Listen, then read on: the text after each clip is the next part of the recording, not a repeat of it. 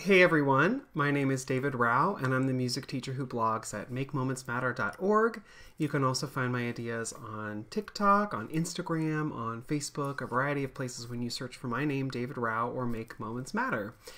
Um, I'm uh, going to be sharing tonight about another lesson that um, I kind of developed with uh, my student teacher as she was trying to come up and craft a lesson, and we talked through a lot of things, and I just thought it'd be cool and beneficial to talk through that process uh, with y'all in case you're looking at creating your own lessons or you're just interested in the process or want to sort of see how that goes. So um, I'm going to be talking a little bit tonight about that process of creating the lesson. It's a lesson that includes non-pitched percussion instruments um, and also dynamics and rhythm reading. So uh, that's going to be coming up in just a second. Um, before I get to that, if you hear about anything in this video that you're interested, the poem, the the process, any of those things, um, you can find the links for all of those things on my blog, makemomentsmatter.org. There's also probably a link at the bottom of wherever you're watching, listening to this, where you can go directly there. But if you hear me talk about the links page, that's what I'm talking about. Okay, uh, one more thing. If you're interested in doing um, elementary music ed, uh, training in person. Um, I'm going to be at New Jersey Music Educators uh, next week on Thursday and Friday. Come on out. I would love to see folks there. Also, I'm going to be um, at the Augusta Orff chapter. That is in March um, on the 23rd. So if you're around Augusta, Georgia, come and join us. Okay, so let's talk about um, this lesson. So this lesson, um, my student teacher wanted to create something that hit a couple different standards.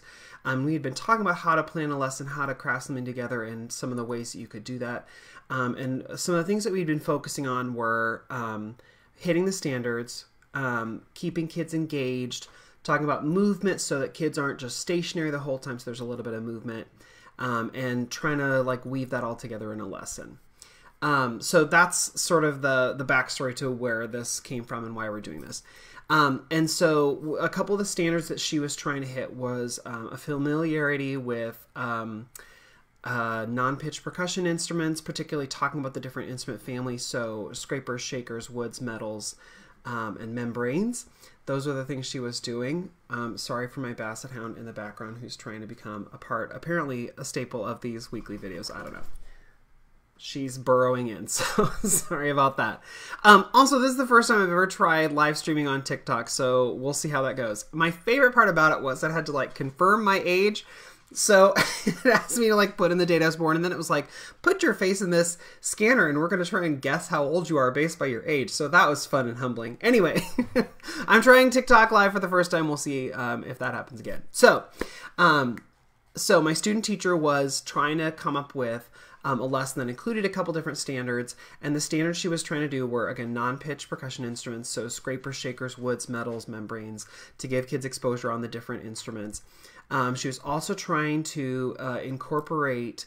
Uh, my students have just in the pacing guide talked about dynamics, specifically forte and piano, the difference between loud and quiet. Um, and they were also trying to uh, do a little bit of like um, iconic notation See, now Lucy's definitely trying to be a part of this video because she's in here coughing. Luce, chill out. Anyway, um, iconic notation following that and rhythm reading. Seriously? Lucy, stop. Okay, anyway, sorry about that.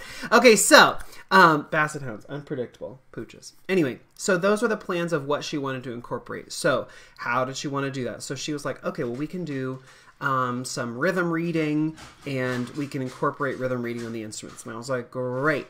So, how are you gonna? Is it just gonna be straight rhythms? How are you gonna hand out instruments? When are you gonna hand out instruments? Because um, she's at the point in the student teaching where she's been in the room quite a bit. She spent um, a full day a week um, throughout the fall semester. So that was a lot of experience seeing things. We've talked a lot about the process of how you might want to come up with a lesson, how you might want to craft that, why you would maybe want kids to move, or how you want to hand out things. So we started um, asking the questions. And when I was talking with her about um, uh, coming up with the lesson, uh, there's sometimes where there will be lessons and then they will like fail or flop and why. And so uh, some of the fun things that you learn from that, like it's good to have a lesson that fails and flops because then you learn like, okay, well, I shouldn't have handed this out right away, or I should have waited to do this, or I should have introduced this first. Why did? Um, and so the lesson that you're going to see today has had a couple revisions along the way, just so you're not like, wow, David's student teacher like immediately right away is so great. Well, yeah, she's great, but like we we had a couple revisions, so this is like the end how the lesson sort of turned out, but as we were talking about coming up with lessons, I was like, it's kind of like if you're gonna, you know, bake a cake or bake a loaf of bread or something. Uh, you have to have a recipe. You have to plan the steps that you're gonna introduce things. You need to figure out when to mix. You need to figure out when to let it rest. You need to figure out and and some of that you can just follow the recipe. You can just write out a sequential list of like what you think is to happen. And sometimes you have to have knowledge. So like uh, for example, if you're baking bread, if you've ever baked bread with yeast and you're like, oh, it says mix the yeast with water and let it sit warm water. How warm? Well, you want it to be warm but not hot. If it's too hot, it'll kill the yeast. How long do you let it sit? Well, it needs to sit for more than a minute. I mean, like you, you some of that you just need to know, and if you don't uh, read the recipe well, or if you don't know some of that, you just it's not. You just have to learn over time, and you have to learn.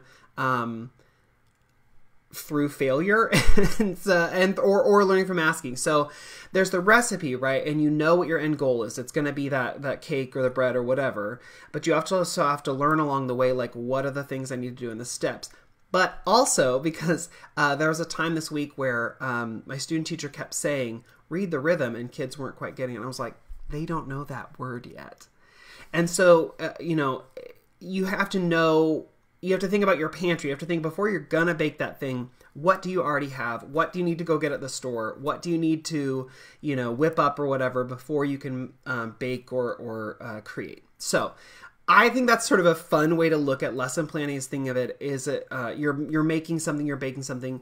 What is the process? Where do you start? What do you need? Do you need bowls? Do you need a mixing? Do you need to do you need to preheat the oven? You know, all of these things you need to think about. So, um, the lesson that we came up with, um, we talked about a lot of those things and it's evolved over time. So, what really inspired um, her was uh, one of the things I said as we were looking through, you know, what can you teach? What do you want to teach? Because you're teaching this grade next week. What do you want to do? Um, and we talked about, well, here are some resources and here are some things you might use. And one of the books I shared was Mallet Madness by Artie Almeida. Great book. Um, and she was looking through and looking different lessons. And one of the ones that stuck out to her was this lesson on aleatoric music. Um, and she just really liked this picture. And I was like, hmm, aleatoric music isn't really in the pacing guide right now. Um, but but she had also looked at it because it talked about timbre of woods, metals, and membranes following the conductor going through the line. She's like, that's a cool picture, but like, how can we change that to make it work for what I want to do? Um, and I was like, okay, great question. So we looked at the picture again, which is sort of a, a loopy, swoopy line, sort of a swirling line. And along the line are little rectangles or triangles or circles or whatever um, along the course of that line. And I was like, that's a cool idea. So, like, if you can, came along the line, if you drew a line, you came along the line, and as you're, you know, you come to like a, a shape, a circle, a square, a rectangle, uh, one instrument has to play. But what are they going to play? And she was like, Ooh, this is great. They could play a rhythm that we create. Awesome. Okay, so the, the beginning idea is there's going to be some sort of line or swoop or swoosh or something that you could follow with, you know, a laser pointer or, you know, one of those big pointy fingers or whatever. And whenever you get to one of those images, then you could play a given rhythm. I was like, great. Okay, so um, what rhythm are you going to play? Huh. Okay. And I was like, so we talked about there are a couple things you could do. You could have a pre created rhythm like uh, you could just have like rhythm cards right that you throw up or show up or what you know, throw up on the board or show to students or whatever. Um, you could do that. Or um, and then we talked about creating your own rhythm. So uh, using like stick notation tas and toddies um, i have these little magnet um, there's a back on it. It's really for like a photo. It's like a picture. It's a little plastic sort of picture frame, but it's it has magnets on the back. So I have a bunch of these, um, and so I use them sometimes for rhythms. They're just stick notations. So there's rests, um, there's tas, quarter notes, there's toddies, eighth notes, um, and then for older grades, there's uh, 16th notes, takadimi. So um, with a bunch of these, you could very easily, you know, put these together and then move them around however, whenever you want to do um, like a four beat pattern. That would be easy. And I was like, then each time you have them read, you could change it if you wanted. Um, you could uh, have a kid come and change the rhythm. That'd be a cool thing to do. Okay, great. So that was our plan. So it was like you're going to follow the line, and then when you get to that little image, um, someone is going to read a rhythm. Okay, great. And eventually, hopefully, get to non pitched instruments. So the first time we did it, the first time she did it, um, she had them go along line and um, she handed out instruments. And the first time they would got to a little thing, you know, certain kids would play or whatever. And it worked okay. And then it was like, how do they rotate through the instruments? Well, she kind of had a plan of how she would rotate one line to the next or whatever. Um, but how could that work better? Okay, so we were like, well, what else could we do? Um, okay, so in my classroom, I have four lines on the floor, um, and I use them all the time for folk dance. It's just like four par- uh, parallel lines. One is red, one is blue, one is green, one is um, yellow. And um, I use them for classroom management. I use them for, um, uh, you know, all sorts of stuff, um, especially folk dancing. That's really nice. But kids can sit on them, right? So, um, sitting on the line, uh, working in those spots, um, you know, one line, what we thought was instead of just having icons, instead of just a triangle or a circle or square, whatever, why not have kids sit on three of those lines, three of the four lines, you know, the green, the blue, the red? And why not have like the triangle be red and the circle be blue and the square be whatever the third color was I didn't quite say. Um, let's see, hold on. Okay, it's really fun trying TikTok live for the first time. Um, and having fun like um, never had spam on there before that's cool anyway so uh, uh, what if the circles and things were um, were colored to match the colors in the room uh, Sorry, TikTok's being weird. First time doing this. It's fun having trolls. Hmm, no. Anyway. Okay. So, um, so when the kids would get to a triangle, it would not just be a triangle, but a red. So then you know all the kids in the red line would do the rhythm. Okay, and then when it gets to like the blue circle, whatever, all the kids who are blue um, or on the blue line would get to play a rhythm. Okay, great. So we also talked about how handing out the instruments the very first time worked fine. But what if, when you taught the lesson, um, the first time you went through it, you just did clapping or patting or just reading the rhythm? Um, instead of handing out instruments right away, which got loud fast, uh, instead, why don't you just read the rhythm first? Um, and so then kids would also get a chance to try out the like know which line is theirs before they had an instrument in their hand. So they then when they when you did add instruments into their hands they would be able to already know the process of okay when i see the green triangle i got to play my instrument or whatever. Um, and so it'd make it a little bit um, simpler in the process once you've handed out the instrument. Okay great. So let's try that. And so then i said okay so you want to add a rotation. Yes. Well the rotation one one day when we tried it was really loud. I was like what if we added a poem so that when they got to the poem, you could, or when they got to the rotation, you could just say the poem. They would know, oh, this is the time when we're going to rotate, and then they would rotate to the new instrument and we would try it all again. Great. Okay. So that was going to be something that was added in. Um, which, by the way, I'm going to get to the full process of the whole lesson, like front to end, in a minute. But I want to talk through this process of how it was created. Um, then, you know, so uh, the plan was okay, there's this winding line. There are different shapes along the line. They're color coded to match the colored lines um, in my room so that kids knew exactly when they were going to play. Then, um, as we're going along, we're going to read rhythm, and the kids, we could move, change, create these rhythms as we wanted using the movable cards with the magnet backs on the whiteboard. But the one more thing that she wanted to do was dynamics. And I was like, okay, so how are you going to do that? She's like, well, they could play loud or quiet on their instrument. Great. Okay. So if they're going to do that, how are they going to know to do that? Um, and we played around with uh, making the images large and small. We played around with um, adding an F or a P onto the image uh, to identify that it is forte or piano. And that's kind of where we ended up. So um, let me take you through the lesson then, how she taught it.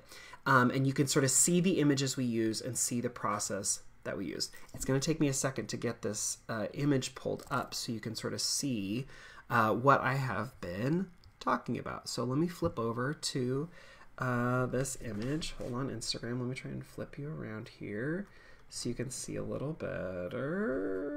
Okay, sorry about the ring light. Okay, let me see if I can flip uh, TikTok around. I don't know if I can do that. Can I do that? Mm, I may just have to turn the camera around like old school because I don't know how to flip. I had not played around with this. Mirror your video. Oh, there we go. Flip camera. Okay. Sorry for this, everyone. It's the very first time I've tried doing this on TikTok. Okay. And maybe the last because they're like trolls. Anyway, okay, so um so on the screen, hopefully you can see, um, there's the the light blue line is the line that kids would follow. So we would follow, you know, like with the cursor or whatever, whoop, um, with the cursor or whatever, or, or using a finger, you know, we'd go through, um, and kids could um, read along the line. So the very first time, purple was everyone. Gr- the green square was the green line kids. The blue circle was the blue line kids, and the red triangles, the red was the red line kids and I, um, we put up a rhythm ta ta ta di ta or whatever on the side of the the whiteboard next to this image so when the cursor or the counter or whatever got to the purple all kids said ta ta ta di ta. When i got to the green only the kids on the green line. When i got to the blue only the kids on the blue line. When i got to the red only the kids on the red line. And then purple again to end um, was everyone. Then um, so that worked pretty well. We did a couple of practices of that with different rhythms, things like that, so that kids knew um, they could uh, play when they play. Oh my gosh, I even said the thing about the poem, and I forgot to tell you what the poem was. We pulled out um, a couple books, we looked online, found a poem um, about the ocean that was pretty short, pretty easy, um, that kids could do. Um, it goes like, This is the sea, the wavy sea. Here is a boat, and here is me. Um, and it's I've linked that on the links page if you're interested. It's just a quick, simple little poem. I actually looked it up. It is a song that it, if you're from Australia, I'm so sorry because I know that it's like a song that I think is semi-popular, but we definitely don't sing it or use the rhythm uh, from the poem from Australia. So I'm very sorry about that. Okay, so um, this is the the line they would do, and once they did it, they would say the poem and rotate around so that you would move basically to a new instrument. Then we handed out instruments. So we did it once with rhythms, not saying here we're going to use instruments. We did not mention that at all. Um, we just um, did it as a rhythm. They didn't know instruments were coming. Well, then instruments came.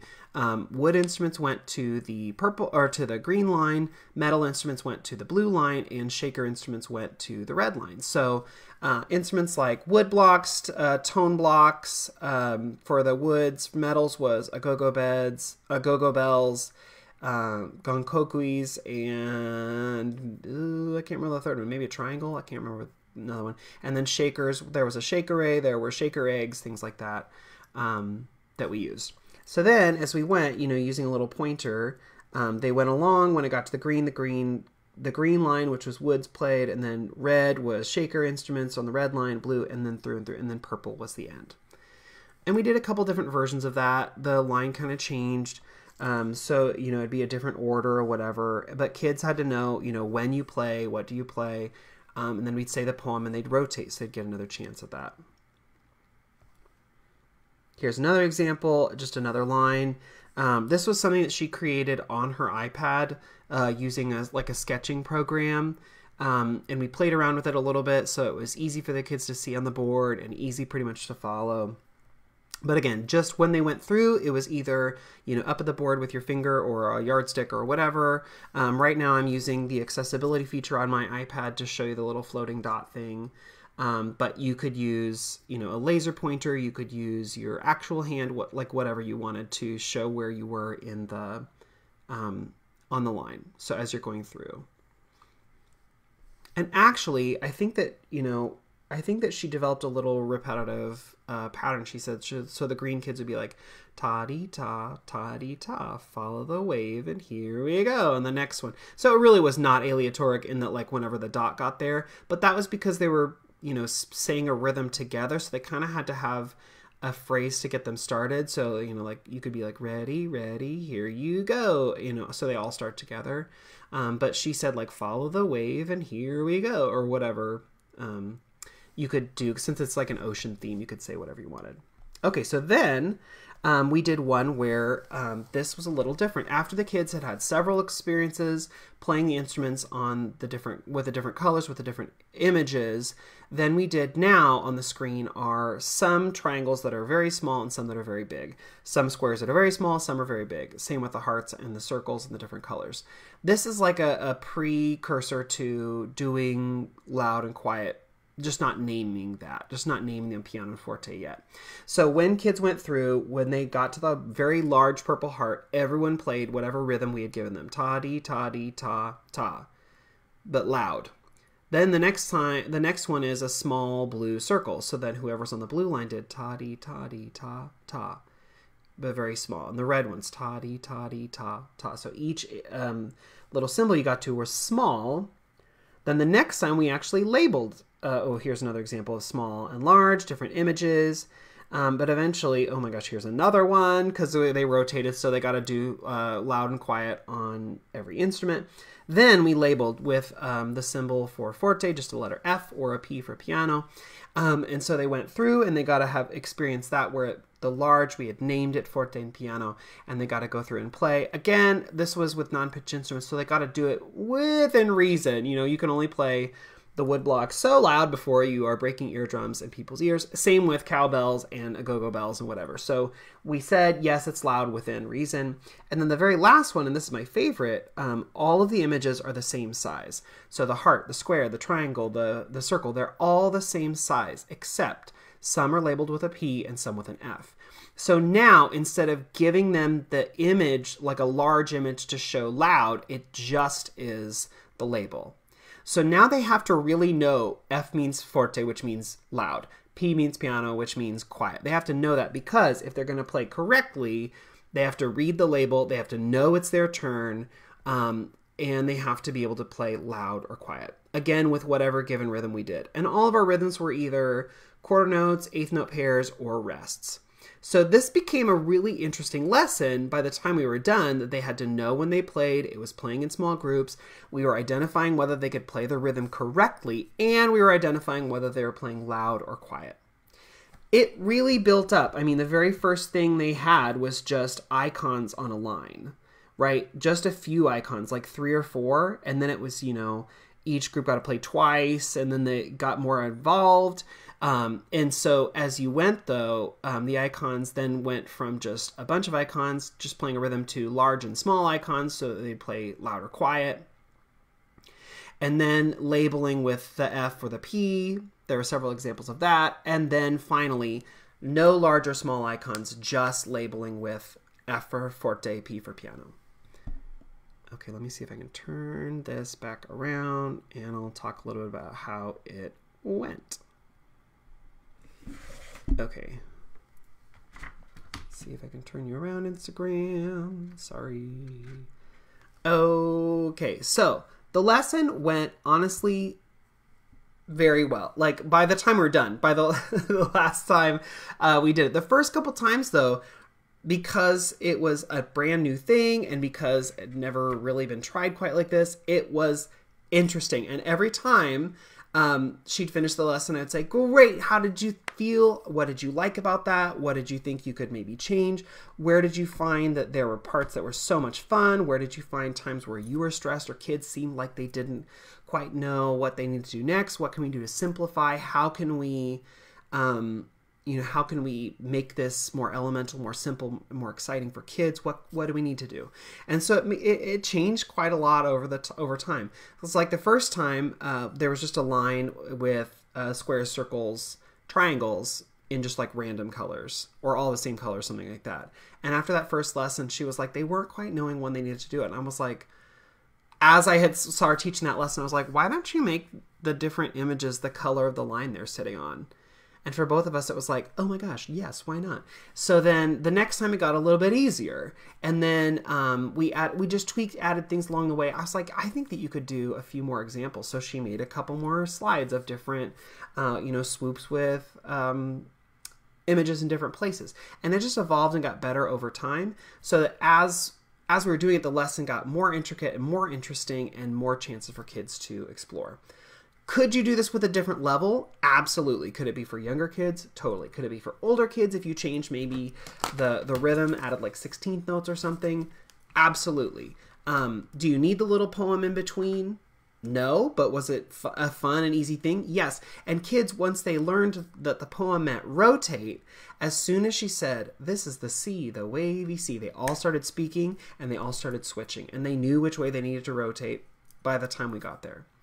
I think it became more successful when when we decided, okay, we're going to try the rotation with reading the rhythm and following the map without instruments. The the first day we did it with instruments right away, not good. Uh, but the second day, when you did it without instruments, it was so much easier and so much better. And it was very fun because by the end of now we're at the end of the week. Um, we sat down after after my student teacher taught that lesson today, um, and I was like, "How's it going? How is it different from when you first taught this lesson? Um, is it what you wanted it to be? Is it assessing the things you wanted it to? Is it teaching the things you wanted it to? Is it reinforcing the things you wanted it to? Um, and it, it it's really shown uh, both of us a lot um, and has given some really great um, moments for kids to try things and explore and have fun, but also reinforce a lot of the concepts. And it's also really taught my student teacher um, some of the things about how when you craft a lesson, what does that look like? How do you how do you have to what do you have to know ahead of time? What do the kids have to know? It's been a really sort of a cool process. Anyway, this is a, just, it's a new lesson. If you want to try something like this, if you do try something like this, please leave a comment and say like, hey, I tried a version of that and it worked really well, or um, that was cool, but I didn't want to use the ocean poem. I'd rather use a, you know, poem about the jungle or poem about bedtime or whatever. Um, please leave that in the comments or send me an email at makemomentsmatter at gmail.com to let me know like, hey, I tried that, but I did this thing differently. Um, it'd be really cool. Or I paired it with a book. Um, you could, there, there are a lot of cool things you could do if you want it. Okay, well, that's all for this week. Um, I hope this gave you some ideas that you could use in your classroom if you wanted, or gave you some thoughts about um, how you could do a lesson similar to this. Um, if you want to hear more, there are a bunch of old Musical Monday videos for the last like five years. You can go back and see more if you're interested.